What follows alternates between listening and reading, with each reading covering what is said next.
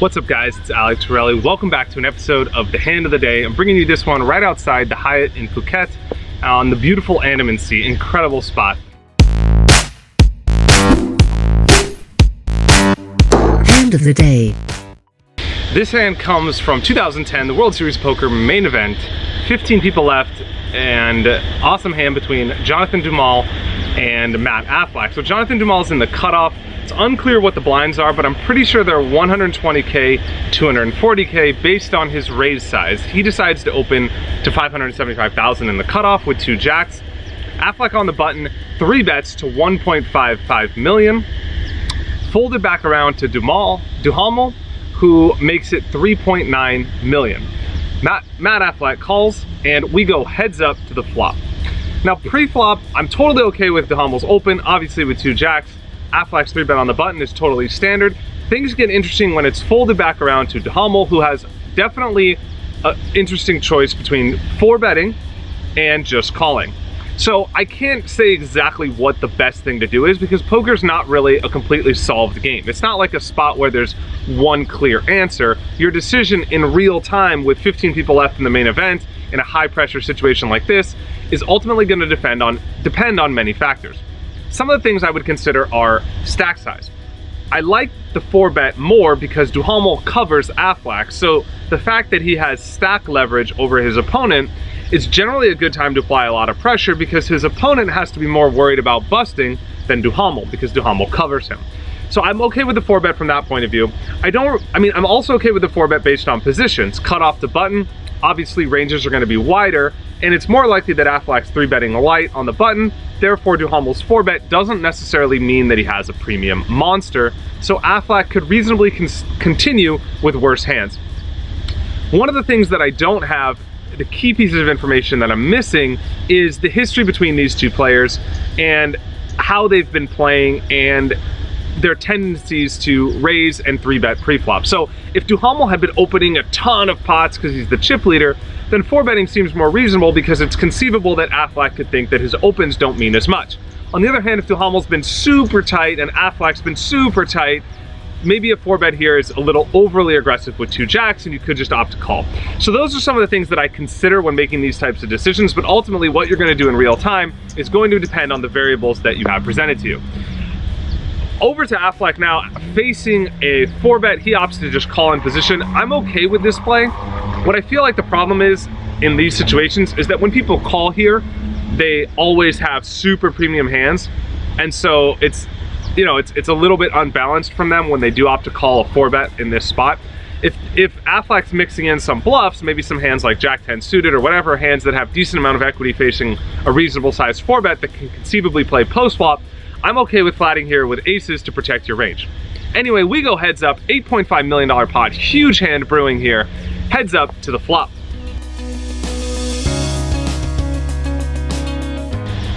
Flop comes 10-9 seven rainbow and Duhamel now checks.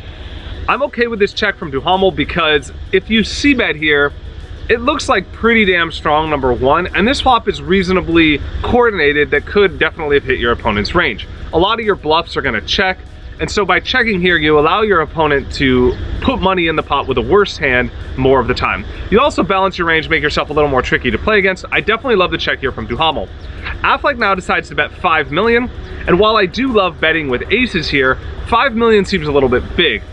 In a cash game, betting something like 60, 70% of the pot is totally reasonable, but in a tournament, I think a $5 million bet here signifies that he has a reasonable size holding. He could be betting 5 million with a bluff, but at the same time, I think going for something like 3.2 million with his whole range is a little bit better of a play. It allows Duhamel to float, maybe get out of line, maybe call with a wider range of hands, and it makes Affleck's range look weaker. Conceivably, he could be bluffing with something like Ace-Jack or King-Jack or something like that. Over to Duhamel has a very clear check call.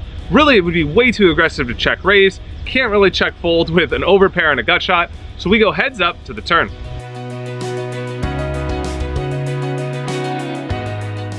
The turn comes Queen of Diamonds, bringing a backdoor flush draw, and Duhamel now has a very clear check. Affleck, very clear bet, he opts to shove. He has 11 million, the pot's already twice that, very clear shove by Affleck, so nothing he can really do there. Now over to Duhamel, who has a serious, seriously tough decision.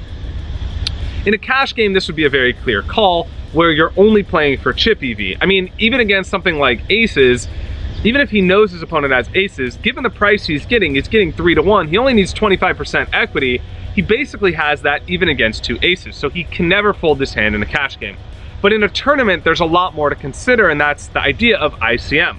In other words, every chip that you gain isn't worth face value, it's worth a fraction of that. So you have to consider here that you want to be above ice, you want to be above chip EV to make a call like this, and that means your opponent has to be bluffing or have non-premium hands a reasonable amount of the time.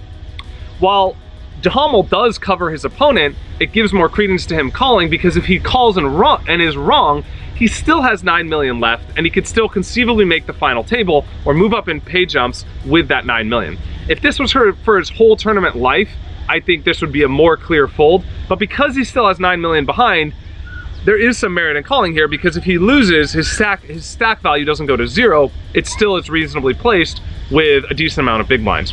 So in short, if Duhamel, if this decision was for all of Duhamel's stack, I would, I would probably consider folding here. I would almost definitely fold. But at the same time, because he has a decent sized chip stack left, I think he could opt to call.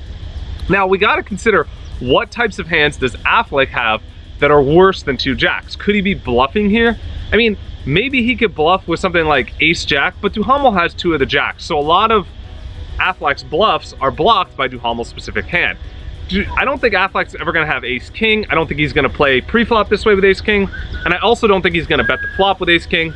If he does, I guess he could shove the turn, but I just don't think that's that likely of a hand. Some of the turns are that Affleck could be bluffing with, some of the hands Affleck could be bluffing with have now turned a pair with something like a queen, and those hands might shove as well.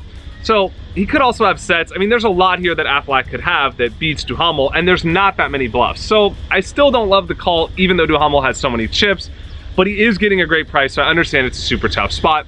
If I had to close my eyes and make a decision, I would probably fold this. In 2010, I don't feel like many players were calling four bets light pre-flop, and so I think that skews their range much more likely towards pairs. And pretty much every pair on this board has you beat. Tens, nines, sevens, queens, kings, and aces all have you crushed. And so I think I would just fold this hand and let it go. That being said, that's why I'm sitting here making videos. That's why I do Duhamel's the main event champion.